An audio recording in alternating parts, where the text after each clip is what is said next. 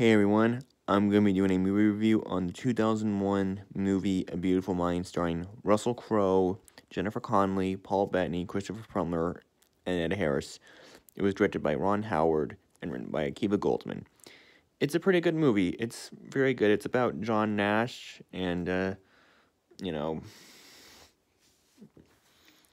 it's a biopic about John Nash, I should have said. And, um, it's about him being a schizophrenia and whatnot, and him dealing with these voices in his head, or and um, sorry, uh, yeah, it's a pretty good movie. I really do like it. That's gonna do it for my review. Bye.